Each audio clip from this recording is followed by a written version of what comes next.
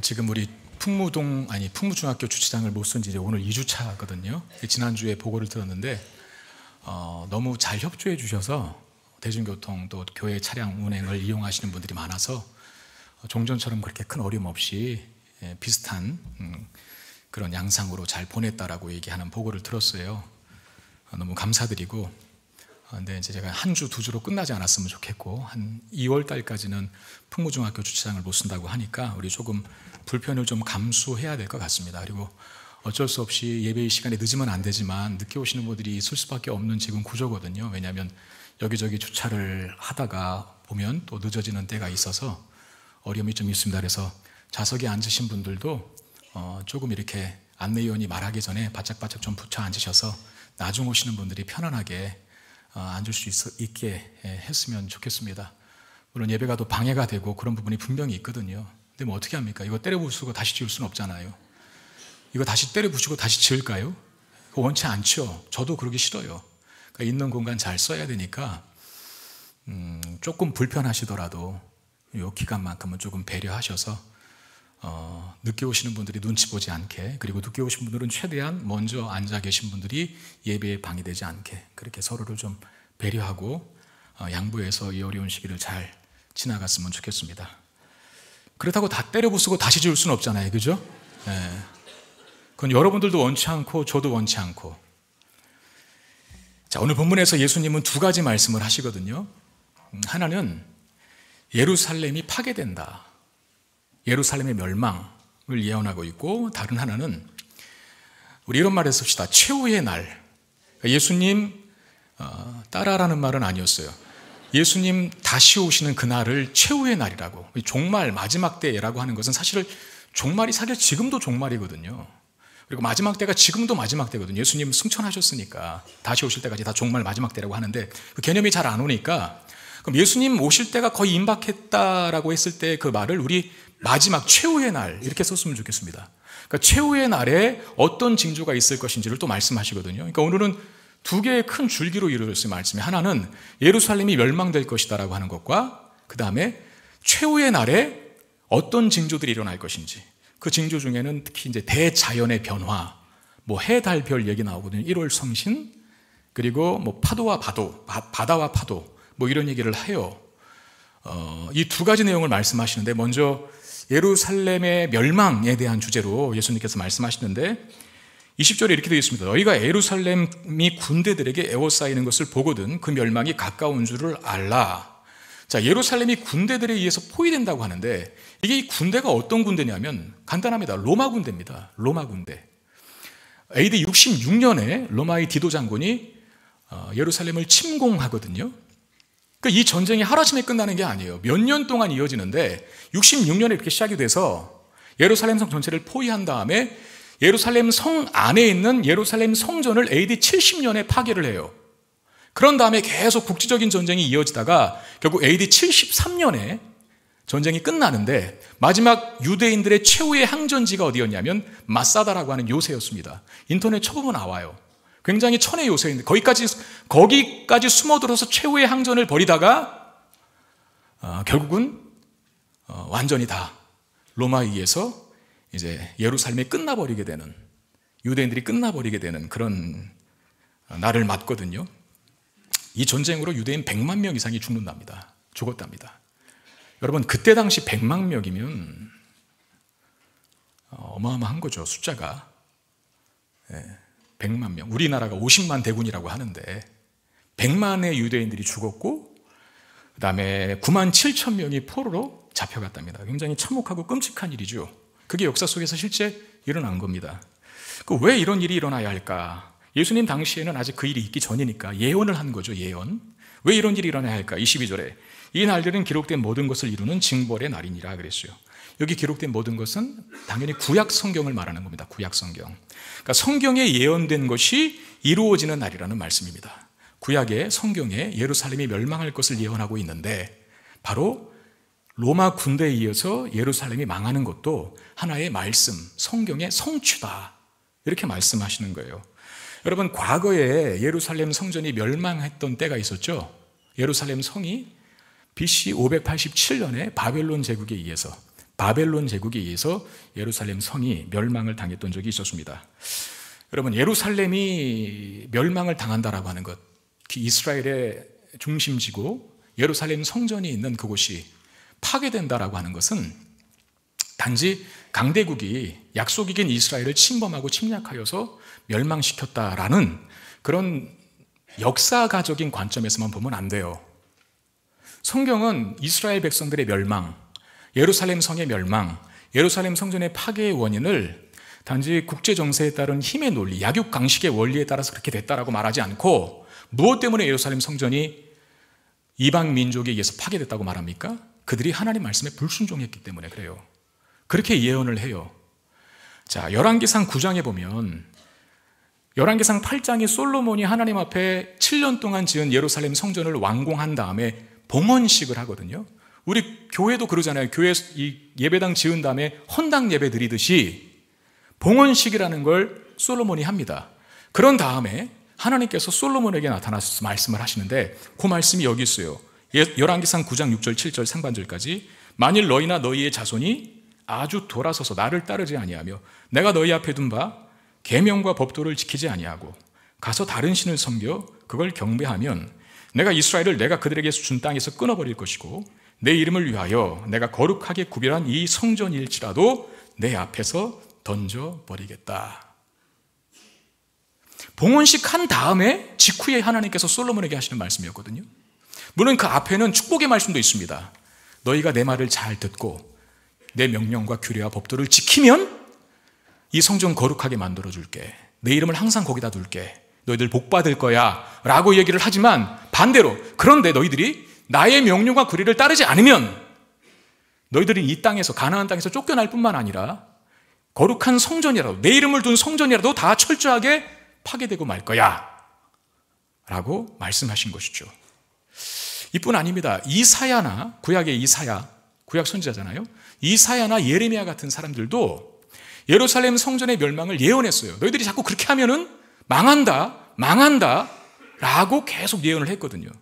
그러니까 이스라엘 백성들이 멸망한 이유, 특별히 예루살렘 성이 파괴당하고 예루살렘 성전이 무너진 이유는 강대국이 약소국을 침범해서 당연히 어떤 국제 정세 속에 이루어진 결과, 자연스러운 결과가 아니라 하나님의 벌이에요, 벌. 그들의 죄에 따른. 무슨 죄? 하나님 말씀 안 들은 죄. 불순종한 죄. 그 죄에 대한 하나님의 심판이라는 거죠. 지금 예수님께서 그래서 22절에 그런 말씀한 거예요. 기록된 말씀이 이루어지는 징벌의 날이다. 왜 로마 군대에 의해서 예루살렘 성이 파괴돼야 되고 예루살렘 성전이 멸망돼야 하는가? 예수님 당시의 상황도 다르지 않다는 거죠. 헤롯이 다시 성전을 멋들어지게 삐까뻔쩍하게 잘 지어줬어도 예루살렘은 여전히 하나님께 불순종하는 거예요. 왜? 하나님께서 보내신 구원자이신 예수님을 배척하니까 예루살렘이 예루살렘 성에 있는 많은 사람들이 예수님 왔음에도 불구하고 하나님의 뜻 가운데 보내어진 예수 그리스도를 거부하잖아요. 배척하잖아요. 그리고 심지어 죽이잖아요, 예수님을. 그뿐 아니죠. 예수님이 승천하신 다음에 이제 제자들이 예수님의 복음을 증거하는데 그 제자들로 인하여 세워진 교회를 어마어마하게 유대인들이 박해하거든요. 그 말이 사도행전 8장 1절에 있습니다. 사울은 그가 죽임을 당함을 마땅히 여기더라. 스테반이 죽은 거예요. 그날에 예루살렘에 있는 교회들이 큰 박해를 당했다. 사도 외에는 다 유대와 사마리아 모든 땅으로 흩어졌다. 흩어졌다 말이 흩어졌다지 도망쳤다는 겁니다. 왜? 유대인들이 괴롭히니까. 예수 믿는 사람들을. 그러니까 예수님의 제자들을 향해서 큰 박해를 계속해서 이 예루살렘이 이어가는데 이게 바로 하나님을 향한 예루살렘의 범죄입니다. 이런 예루살렘이 어떻게 되어야 합니까? 징벌당해야죠. 징벌. 그래서 22절에 이 날들은 즉 로마 군대에 의해서 예루살렘이 멸망하게 되는 날들은 기록된 모든 것을 이루는 징벌의 날이니라. 다시 말하면 하나님을 거부하고 하나님 말씀 순종 안 하고 그러면 성전일지라도 던져버리겠다. 라고 하는 말씀의 성취라는 겁니다. 당시 유대인들은 예루살렘은 안전하고 영원할 것이라고 믿었죠. 아, 그럴 수밖에 없겠죠. 왜냐하면 삐까뻔쩍하니까. 저 건물을 누가 무너뜨려? 여러분 우리도 지금 미국의 백악관이 또는 미국의 그 국방부 본부가 뭐죠 이름이? 음, 펜타곤이 뭐 공격받는다, 무너진다 이런 거 생각해 보셨어요? 못 하잖아요. 아무리 다른 나라가 미국을 공격한다 해도 미국이 반드시 이길 거야라고 하는 이상한 자연스러운 심리 생각을 갖잖아요. 성전도 마찬가지. 과연 성전이 왜 무너질까? 누가 무너뜨릴 수 있을까? 왜? 이 화려한 걸, 이 현란한 걸, 이 웅장한 걸. 과연 누가 무너뜨릴 수 있을까? 그래서 예루살렘 성이 안전하고 영원할 것이라고 생각했습니다. 그런데 예루살렘은 영원하지 않습니다.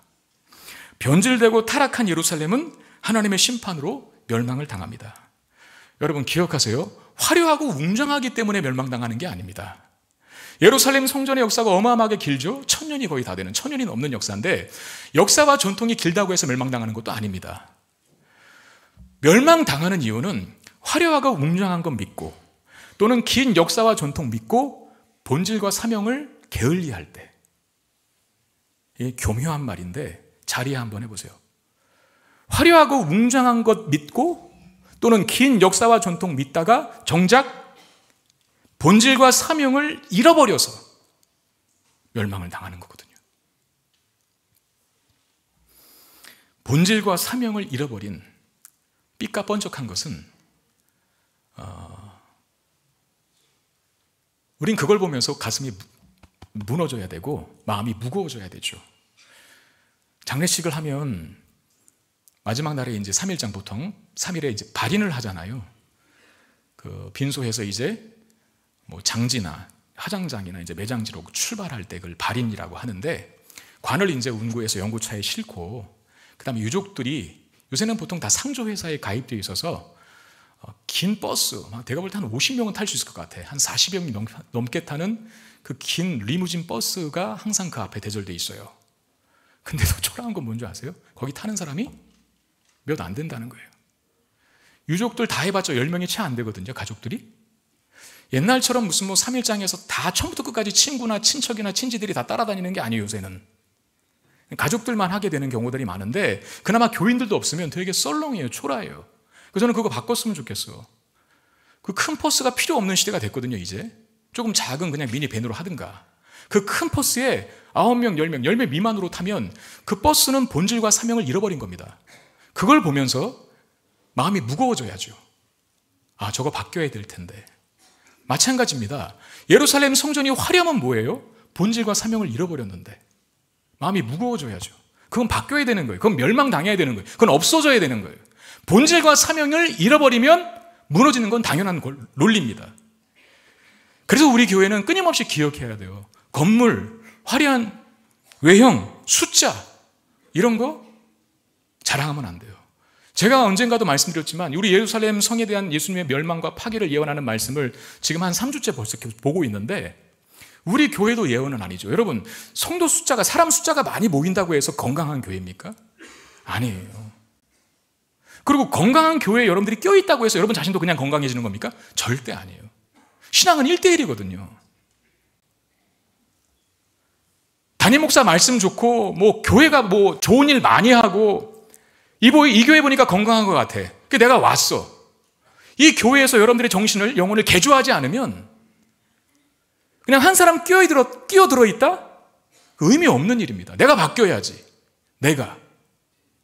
그러니까 화려함이나 건물이나 숫자를 자랑하면 안 된다는 거. 그리고 여러분 개인적으로도 내가 세상적으로 얼마나 많은 것을 누리고 있는가로 여러분들이 지금 잘 살고 있다, 못 살고 있다라고 하는 것의 기준을 삼으면 안 돼요.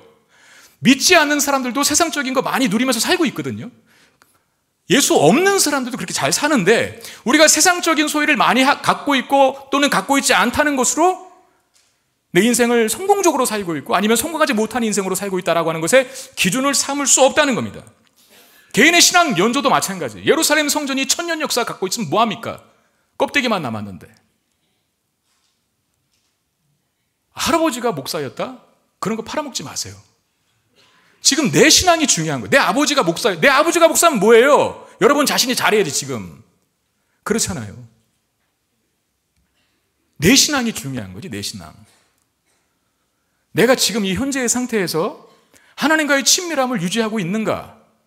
내가 지금 이 현재의 상태에서 하나님 말씀에 순종하고 있는가? 내가 하나님이 나를 부르시고 세우신 자리에서, 사명의 자리에서 내가 성실하게 임하고 있는가? 이게 중요하다는 거죠. 근데 예루살렘 성전은 왜 망해야 합니까? 그걸 잃어버린 거예요. 하나님과의 친밀함, 말씀에 순종하는 거, 예루살렘 성전을 예루살렘 땅에다가 둔 목적과 사명 다다 잃어버렸어요. 껍데기만 남아있는 거죠. 그러니 침략을 당하는 겁니다. 2017년 영국 과학계에서 어, 지금도 그 생각에는 변함이 없다 그래요. 2017년도니까 지금 한 5년 지났지 않습니까? 5년이 뭐예요, 지금? 한 6년이 지났네요. 영국 과학계에서 우리나라가 2030년에 세계 최장수 국가가 될 것으로 예측했다고 합니다. 세계 최장수 국가, 우리나라가. 건강보험 제도가 또는 의료 발달이, 의료 기술이 발달됐고, 또 높은 수준의 교육, 그리고 어린이들이 잘 먹는 어린이 영양 때문이라 그걸 비결로 꼽았다 합니다. 우리나라가 2030년도에 최장수국가가 되는 이유, 잘 짜여진 의료보험 체제, 그다음에 의학 기술의 발달, 음, 그리고 어, 교육 수준의 향상, 또 어린이들이 잘 먹는 거. 그런 다음에 특이한 게 하나 있었는데 나는 건강합니다. 나는 건강합니다. 건강하다라고 답한 비율이 OECD 회원국 중에 한국이 가장 낮다는 조사도 인용하여서 우리나라를 최장수 국가로 뽑았대요. 이게 참 헷갈리잖아요. 나는 건강하다라는 대답을 OECD 국가 중에 우리 대한민국 사람들이 잘 낮게 했대요. 아, 거의 안 했대요. 그러니까 자기 건강하지 않다고 생각한 거죠. 근데 왜 최장수 국가가 됐을까? 그 건강 염려증 탓에 병원 방문 횟수가 많고 건강검진과 예방접종에 적극적이기 때문에 오래 산다라는 겁니다. 우리는 조금 아프면 병원에 득달같이 달려가죠. 어, 그거 나쁜 거 아닙니다. 자기 건강을 염려하고 건강하게 사는 게 좋은 거니까. 그런데 영혼의 건강을 위해서 그렇게 득달같이 교회에 달려가고 말씀 앞에 달려가고 기도의 자리에 달려가나요? 그걸 생각해 보자는 거죠. 우리 롱런 해야 되거든요. 롱런. 장수해야 되거든요. 영혼의 장수도. 우리의 신앙생활이 우리 대해서 명맥 끊기면 안 되잖아요. 꺼져가는 촛불처럼 돼 있으면 안 되잖아요. 우리 신앙이 지금. 점점 활활 타올라야지.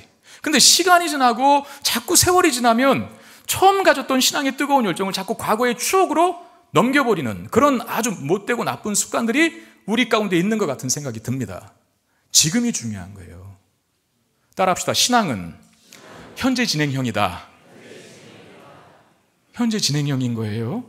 지금이 중요합니다. 지금 내가 하나님 말씀에 순종하고 있는가? 지금 내가 하나님과의 친밀함을 누리고 있는가? 지금 내가 하나님께서 나를 부르신 사명의 자리에 그 역할에, 그 본질에 충성하고 최선을 다하고 있는가? 이게 중요하다는 거죠. 퇴보되면 안 됩니다. 정체되어서도 안 돼요. 점점 더 깊어지고 성숙해지는 신앙을 가져야 합니다. 그렇지 않으면 예루살렘 성전처럼 돼요. 멸망당해요. 파괴됩니다.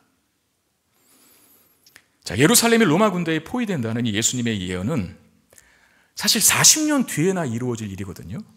예수님이 30세의 공생애를 시작했지 않습니까? 근데 로마의 디도 장군이 쳐들어올 때는 66년이었고, AD 66년이었고, 70년대에 예루살렘 성전이 망하고, 73년에 이 전쟁이 끝나거든요.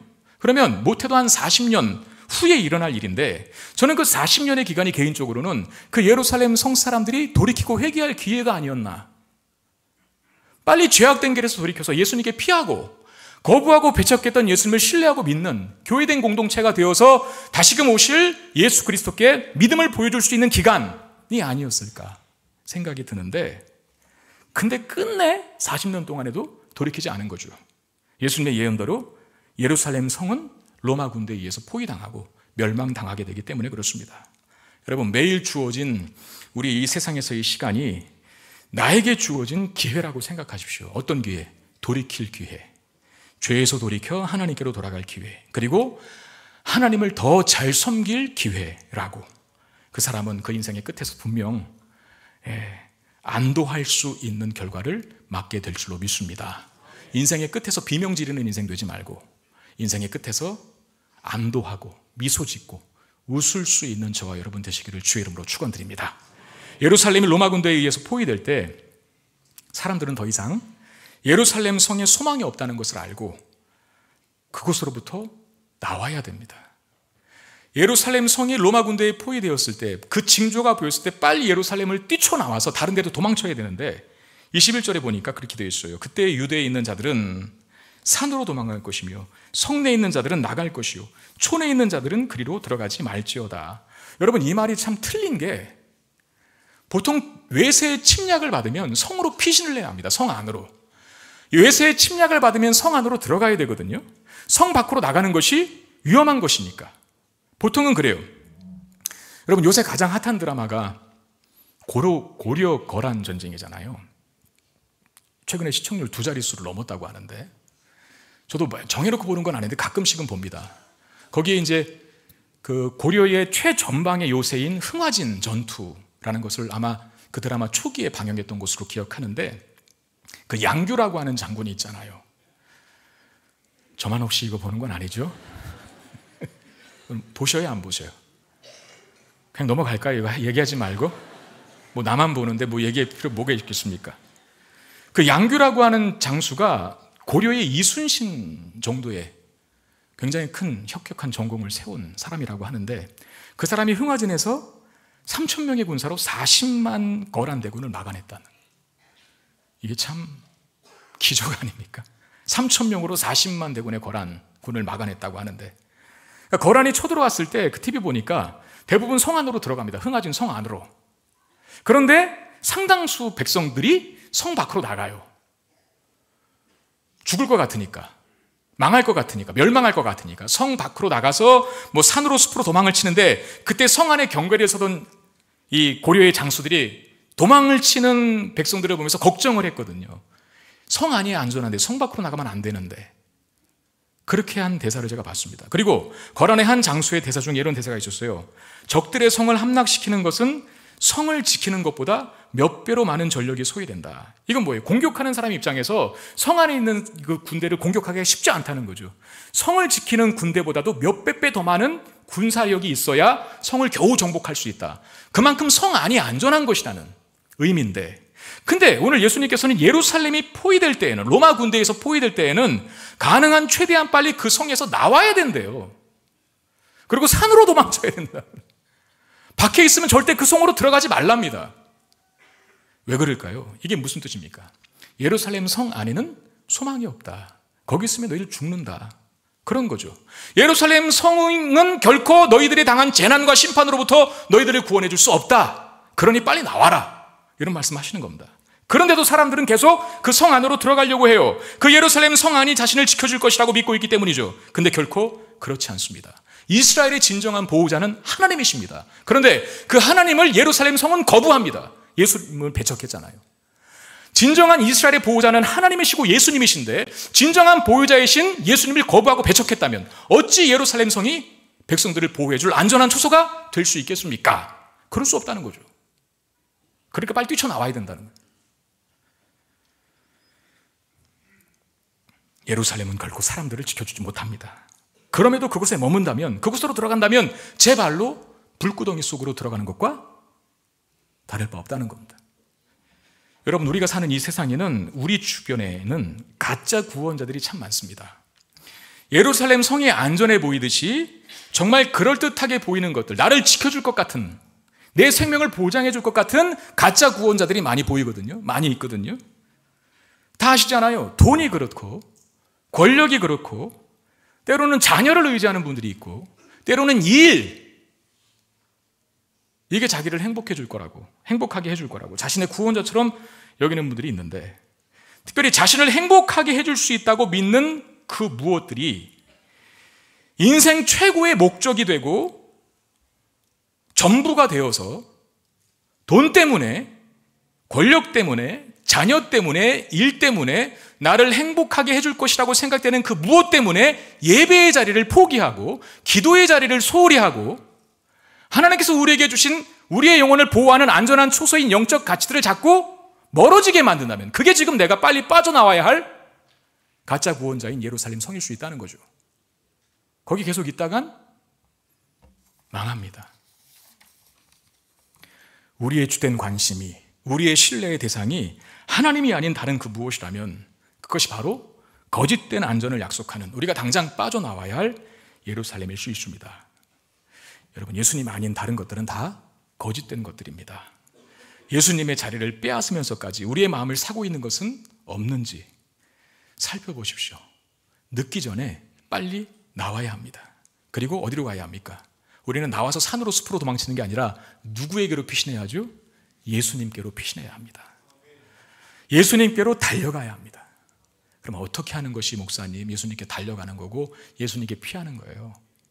찬송가 85장의 가사가 우리의 마음에 꽂힌다면 찬송가 85장의 가사가 내 마음으로 불려지는 노래라고 한다면 여러분들은 예수님께 피한 사람입니다. 찬송가 85장이 뭡니까? 1절에 우리 한번 같이 찬송해 볼까요? 구주를 생각만 해도 이렇게 좋거든. 주 얼굴 배울 때에야 얼마나 좋은 만민의 구주 만민의 구주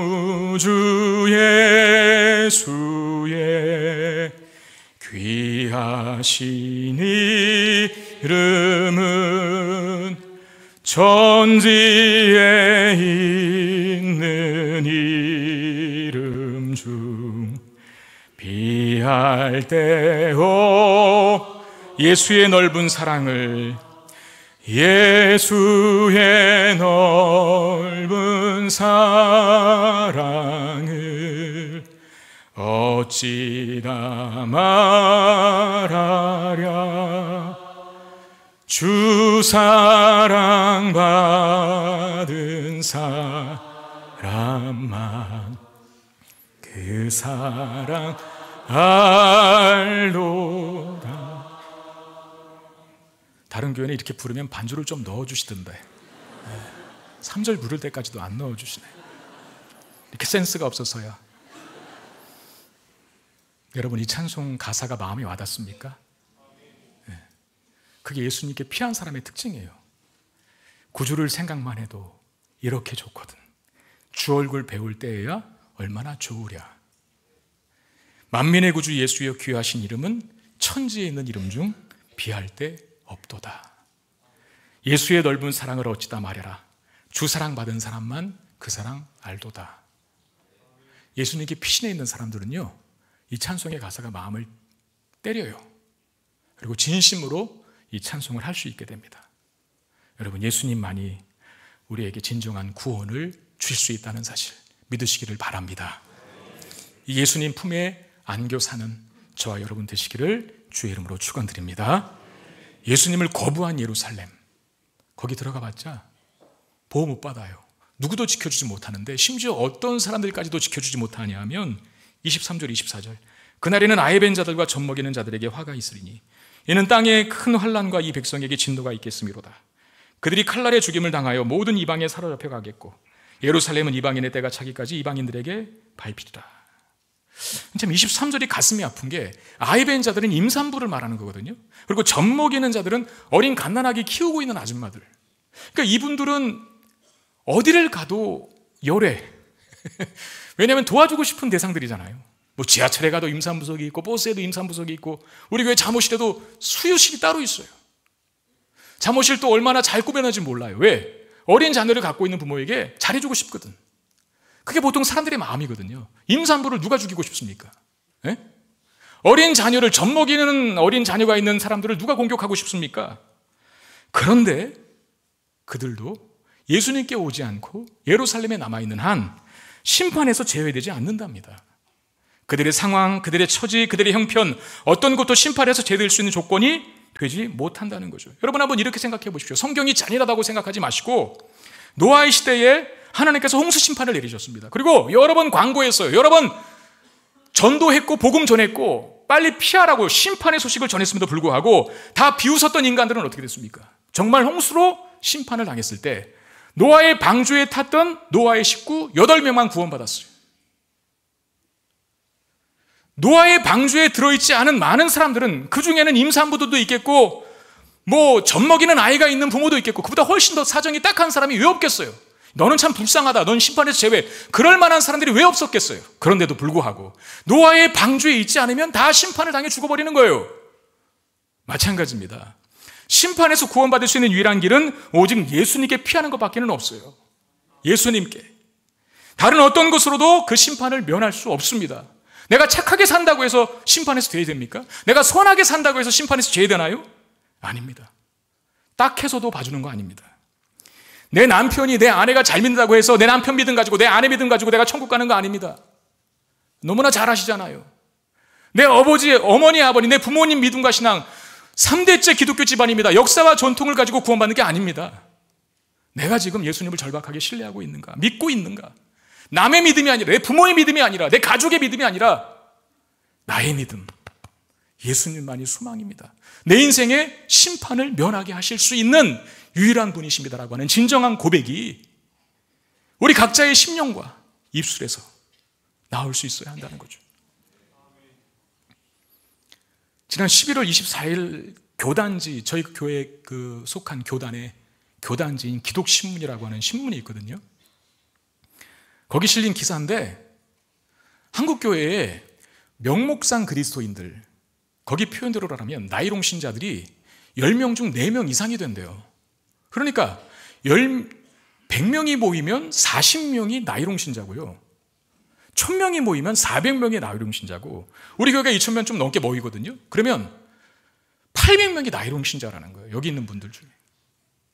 40%가. 옆 사람 쳐다보세요. 나이롱 신자인지 진짜 신자. 나이롱 같이 보이진 않습니까, 혹시?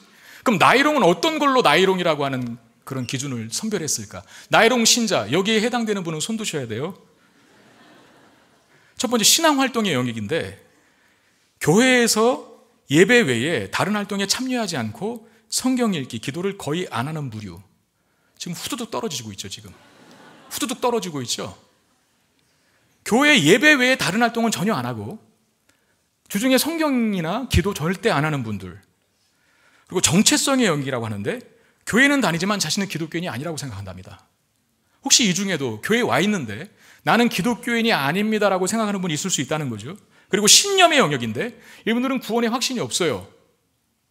당신 구원 받을 수 있습니까? 지금 죽으면 천국 갈 수 있습니까? 라고 물어봤을 때 모르겠는데요. 아니요. 라고 대답한답니다. 그리고 그럼 왜 교회에 옵니까? 라고 했을 때 인간관계 때문에 온대요. 또는 사업 때문에. 이게 라이롱 신자의 특징인데 신앙 활동의 영역, 정체성의 영역, 신념의 영역에서 이 모습들이 다 갖추어진 사람들이 라이롱 신자인데 놀랍게도 10명 중에 4명이 여기에 해당됩니다. 해당된답니다. 그러니까 한마디로 얘기하면 이분들이 주일 예배만 겨우 참석하고 어떤 신앙생활에 대해서 진지하게 생각하거나 절실한 믿음으로 나오는 교인이 아니라는 거죠. 이게 이제 명목상 그리스도인이라고 하는데 교인이라고 하는데 제가 이 이야기를 몇몇 부목사님들과 나눴어요. 그러면서 제가 심각하게 걱정하는 마음으로 그렇게 물었어요. 넌지 던졌죠. 우리 교회는 정말 명목상 교인들이 얼마나 될까? 저는 사실 이런 답을 기대했거든요. 아, 목사 그래도 우리 교회는 정말 성도들이 다 뜨겁습니다. 아마 참된 그리스도인이 더 많을걸요? 라는 말을 듣고 싶었는데 부목사님 한 분이 그렇게 말하는 거예요. 40%보다 훨씬 더 될걸요? 라고. 그 제가 기분이 어떻겠습니까? 그 순간. 마음이 아팠습니다. 저는 부정하고 싶습니다. 그걸. 우리 교회는 다 참된 그리스도인이라고 믿고 싶습니다. 명목상 그리스도인이 아니라 자신이 나이롱 신자라고 생각되는 분들은 남으세요. 남아서 다시 한번 제대로 신앙교육 받고 가세요. 그래도 여기서 이제 희망을 주는 기사가 뭐였냐면 가나안 성도보다 낫다는 거죠. 가나안 성도가 뭔지 알죠? 안 나가 성도. 교회 안 나가. 그걸 거꾸로 한 게 가나안 성도예요. 예수는 믿는데 교회는 싫다는 거예요. 그런 사람들은. 근데 그 가나안 성도보다 낫대요. 이 명목상 그리스도들이. 왜? 일단 명목상 그리스도인들은 어디에 와 있어? 교회는 와 있으니까. 그러니까 변화될 가능성이 충분하다는 거예요. 저는 믿습니다. 나이롱 신자들이요. 변화될지어다. 네. 지금 괜찮아요. 앞으로 잘하면 돼요. 앞으로 잘하시면. 정말 예수님밖에 나의 소망이 없습니다. 라고 말할 수 있는 그 시등, 그 믿음. 예수님만이 나의 구원자이십니다. 라고 고백할 수 있는 그 믿음을 가진 성도. 그야말로 참된 그리스도인으로서 이 땅을 사는 저와 여러분 되시기를 주의 이름으로 축원드립니다. 그 예수 그리스도 이름만 믿고 그분께만 소망을 두는 자가 심판에서 제외되는 거죠. 내가 착하게 산다고 선하게 산다고 교회 몇 번 나온다고 구원해서 심판에서 제야 되는 게 아닙니다. 예수님이 진정 나의 유일한 소망인가? 나의 진정한 구원자이신가? 누군가가 나에게 100번을 물어도 100번 다 목에 칼이 들어와도 그렇게 대답할 수 있는 믿음을 가진 사람들. 그 사람들이 심판에서 면함을 받고 구원받는 하나님의 백성인 줄 믿으시길 바랍니다.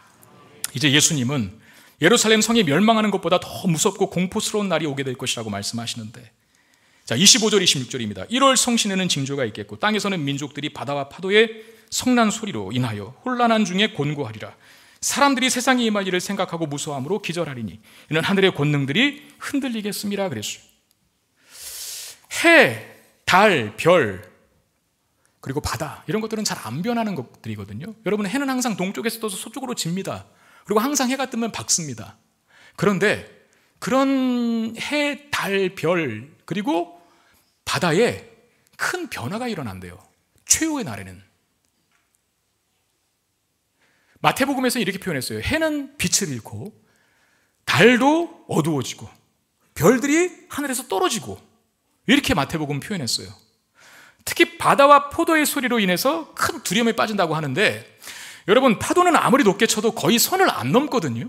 그러니까 바닷가 바로 앞에다가 집 짓고 사는 거 아니에요? 안 넘으니까 아무리 파도가 크게 쳐도 어느 선까지는 안 넘어온다는 확신이 있으니까 그 앞에다가 음식 좀 차려놓고 밥 장사 하는 거 아닙니까? 부산 해운대 앞에는 그 짧은 거리에다가 엄청난 높은 빌딩 지어놨대. 만약에 파도가 툭 하면 넘는다면 거기다 어떻게 빌딩 짓고 살아요? 그런데 안 넘는다는 확신이 있으니까. 그러니까 해, 달, 별, 뭐 바다, 파도 이런 하늘, 천, 이 대자연의 큰 세계 속에서는 큰 변화들이 일어나지 않는다는 거죠. 그런데 최후의 날에는 이것들의 변화가 일어난대요. 예를 들어서 바도의, 바다의 파도는요. 보통 지금 쓰나미도 일어나지만 지금도 이 지구촌 곳곳에 쓰나미가 일어나기는 하지만 한 지역, 어떤 한 나라에서 일어나는 것에 제한됩니다. 그런데 최후의 날에는 파도가 어디까지 넘냐면 내륙 다 접습니다. 어마어마한 쓰나미 해일이 임한대요. 하늘의 권능들이 흔들리겠습니다. 무시무시한 현상이 일어난다는 거죠. 그런 일도 인해서 사람들이 두려움에 빠지고 심지어는 기절한다. 졸도하는 일이 발생한다고 하시거든요. 그럼 왜 그런 일이 일어나야 할까요? 27절에 그때 사람들이 인자가 구름을 타고 능력과 큰 영광으로 오는 것을 보리라. 이게 바로 주님의 재림이 임박했음을 알리는 전조 증상들이라는 거죠. 마지막 때가 다 됐음을 마지막 때가 다 돼서 예수님이 올 때쯤 되면은 이런 대자연의 변화, 무시무시한 현상들이 나타난다는 겁니다. 그런데 놀랍게도 이런 대자연의 변화, 이 현상들, 이 무시무시한 재앙의 전조들이 반갑게 느껴지는 사람들이 있어요. 그들이 누구냐면 28절. 이런 일이 되기를 시작하거든 일어나 머리를 들라 너희 속량이 가까웠느니라 하더라 그랬어요. 여러분 이런 무서운 현상이 일어났을 때 머리를 들라 너희 구원이 가까웠다. 라고 하는 주님의 음성을 듣는 사람들이 있대요. 그들이 누굴까요? 예수 믿는 사람들입니다. 성도들입니다. 어떤 성도들? 예수님 이름 때문에 핍박당하고, 예수님 이름 때문에 고난당하고, 예수를 믿는 믿음으로 이 땅을 한평생 소망 속에 살아간 사람들. 그들은 이 무시무시한 현상 속에서도 주님의 온화한 음성을 듣는데요. 너 수고했다. 너 고생 많았다. 이제 내가 너 지켜줄게. 평안하게 해줄게. 머리를 들어라. 영원한 평화에서의 삶이. 영원한 평화의 삶이 이제 시작될 것이니 안심하거라. 이런 말씀이죠. 하늘의 권능들이 흔들리는 이 대재앙 앞에서 누가 견딜 수 있겠습니까? 그런데 예수 믿는 사람들에게는 그것들은 이제 드디어 완전한 구원이 임하게 될 날이랍니다. 여러분 정말 강력하게 권면합니다. 예수님을 주님을 거부하지 마시고 주님의 편에 항상 서 있는 저와 여러분 되시기를 주의 이름으로 축원드립니다. 썩어질 예루살렘에 썩어질 세상 것에 소망 두지 마시고요. 영원한 하나님 나라에 소망 두며 머리를 들어 주님만 바라보고 살아갈 수 있는 저와 여러분 되시기를 바랍니다. 그런 자들에게는 주님의 재림하시는 날은 재앙의 날이 아니라 구원과 생명과 기쁨의 날이 될 것입니다. 말씀 맺겠습니다. 예루살렘이 멸망할 것이라고 하는 예수 말씀이 실현됐죠. 40년 후에 AD 66년에 로마가 침공을 하고 70년에 예루살렘 성전이 망하고 73년에 유다는 멸망합니다. 예수님이 40년 후에 일어날 일을 예언했을 때 그 예언이 이루어졌듯이 예수님 재림하셨을 때 이런 하늘의 천재지변이 하늘의 큰 권능들이 흔들리고 그때 주님이 오셔서 이제 심판하실 것이라. 이 말씀 역시도 이루어진다는 사실을 믿으라는 겁니다. 이 두 재난의 배열을 이렇게 둔 이유가 거기 있어요. 예루살렘이 멸망했듯이 예수님 다시 오셔서 재림하셔서 어두워진 죄로 어두워진 세상을 끝장낼 때가 있는데 그때 너희들은 나에게만 수망 두고 있어. 그럼 내가 너희들의 피난처 되어 줄게. 라고 말씀하시는 것이죠. 재난의 전조 증상들이 참혹하고 무섭고 괴롭고 고통스러운 것일수록 이 세상의 죄악에 관영한 죄악들을 심판하시고 새로운 나라를 허락하시는 다시 오시는 주님의 능력을 확인하시고 그분의 오심을 공포가 아닌 예, 기대와 소망으로 맞으실 수 있는 저와 여러분 되시기를 주님의 이름으로 축원드립니다. 함께 찬양할까요? 주님만이 나의 왕이십니다.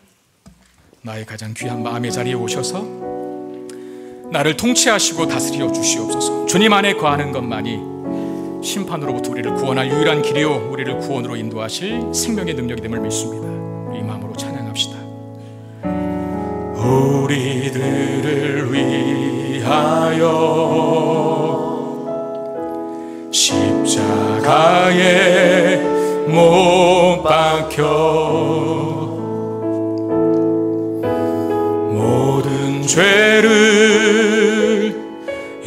용서하사 의인 삼아 주신 주. 어떤 일이 있어도 어떤 일이 있어도 나를 버리지 않고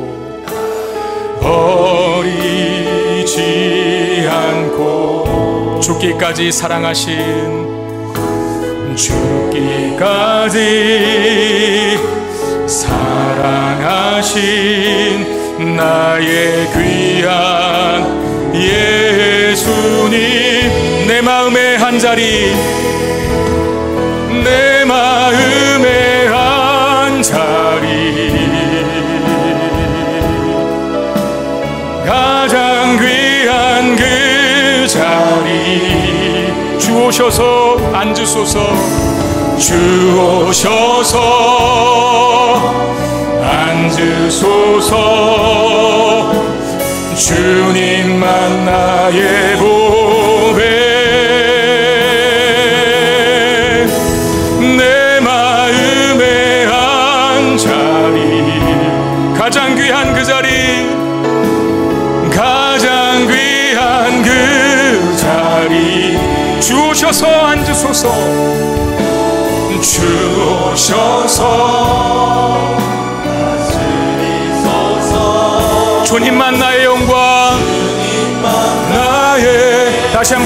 찬양합시다.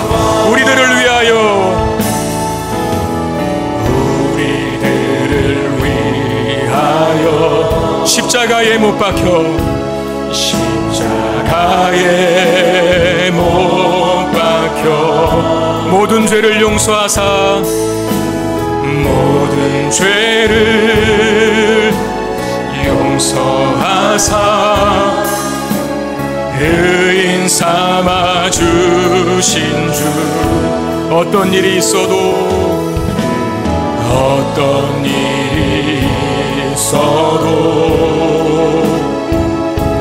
나를 버리지 않고 죽기까지 사랑하신 죽기까지 사랑하신 나의 귀한 예수님 내 마음의 한 자리 내 마음의 한 자리. 가장 귀한 그 자리 가장 귀한 그 자리. 주 오셔서 주소서. 주님만 나의 고백 내 마음의 한 자리 내 마음의 한 자리. 가장 귀한 그 자리 가장 귀한 그 자리. 주오셔서 다스리소서. 주오셔서 다스리소서. 주님 다시 한번 전심으로 찬양합시다. 내 마음의 한 자리 내 마음의 한 자리. 가장 귀한 그 자리 가장 귀한 그 자리. 주 오셔서 앉으소서. 주님만 나의 보배. 내 마음의 한 자리. 가장 귀한 그 자리. 가장 귀한 그 자리. 주 오셔서 주 오셔서 다스리소서 주님만 나의 영광. 여러분 그렇습니다. 우리의 마음에 우리의 중심에 우리 인생의 가장 중앙에 주님이 오셔야 합니다.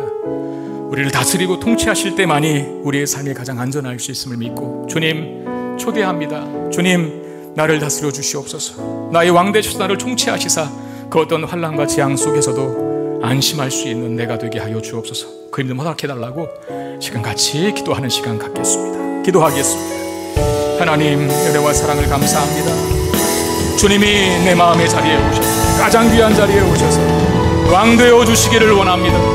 주님이 통치하시고 다스리실 때 우리가 진정 주님의 반석, 주님의 요새, 주님의 산성되심을 믿고 주님 품에 안겨 있습니다. 하나님 우리를 보호하시고 치유하시고 새롭게 하시고 안전하게 지켜주시는 하나님을 경험할 수 있는 은혜 베풀어 주옵소서. 어떤 환란과 핍박이 몰아쳐도 주님의 이름을 포기하지 않게 하시고 주의 곁에 서서 한결같이 믿음에 가는 우리가 될 수 있도록 하나님 도와 주시옵소서. 점점 더 주님의 지배와 통치 속에 있게 되기를 원합니다. 더 간절하고 진실하고 하나님 아름다운 믿음으로 신앙생활 할 수 있게 되기를 원합니다. 주님 나의 주인으로 나의 생명으로 나의 중심에 자정하여 주옵소서